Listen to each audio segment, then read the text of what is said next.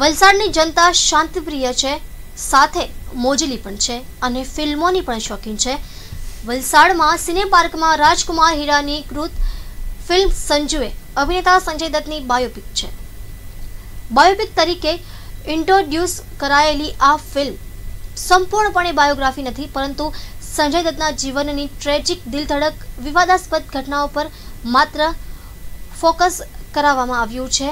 ફિલ્મની વાત કરીએ તો અહીં લેખક બેલડી અભિજાત જોશી અને રાજકુમાર હિરાની દ્વારા સંજય દત્તના જીવનના મુખ્ય બે પ્રકરણ, ડ્રગ્સ પ્રકરણ અને શસ્ત્ર.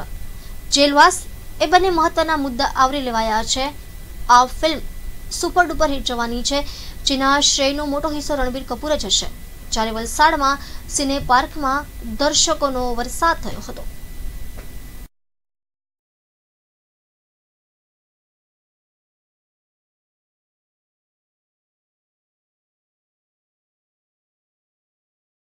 मनीष। आज क्यों आया था आप इधर? मैं मूवी देखने आया था संजू।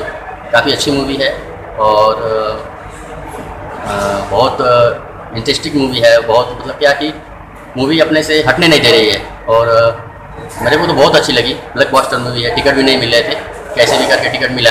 और देखा मैंने मूवी को फुल एंजॉय किया। ये संजय दत्त का आपको कैसा पात्र लगा? संजय दत्त का पात्र अच्छा लगा। अलग अलग रोल में और बहुत कुछ देखने को मिला संजय दत्त।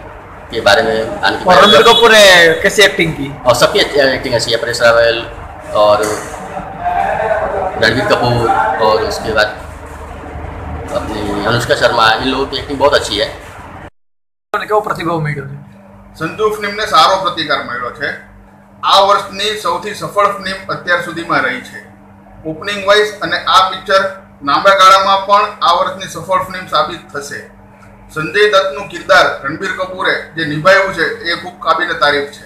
સાથે સાથે પરેશ રાવલનો અભિનય પણ ખૂબ જ સરસ છે અને વખાણવા નાયક છે. એક બાપ દીકરાને કઈ કઈ તકલીફમાંથી બહાર લાવે છે, એ આમાં ખૂબ સરસ રીતે દર્શાવવામાં આવ્યું છે. બીજું કે સંજય દત્તને આમાં એની સારી અને ખરાબ બંને છબી બતાવવામાં આવી છે.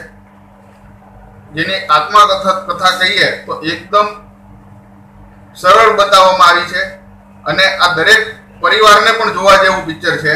એક બાપ દીકરાની કહાની છે. આમાં કોઈ પણ જાતની વનગારેટી કે એવું છે નહીં. હિરાનીજીએ જેને આજ સુધી સફળ ફિલ્મો આપી છે, એમને વધુ એક સારી સફળ ફિલ્મ એમ- એમના ખાતામાં ગઈ છે. અને આ પિક્ચર પ્રેક્ષકોને ખૂબ ગમે છે અને આવનારા દિવસોમાં પણ આ ખૂબ સારો ધંધો કરશે.